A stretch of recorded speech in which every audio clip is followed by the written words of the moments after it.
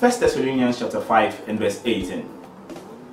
In all things, give thanks, for this is the will of God in Christ Jesus concerning you.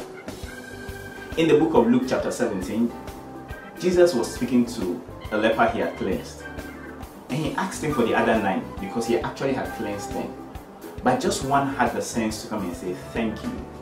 And to that one who could say thank you, his healing was made perfect. Jesus said, Your faith has made you whole.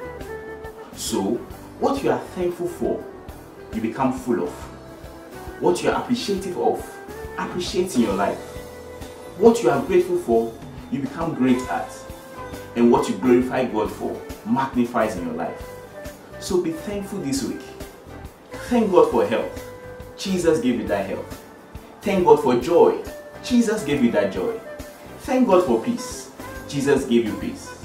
So, in all things, give thanks to God, for this is the will of God in Christ Jesus concerning you. You are blessed, so have a blessed week.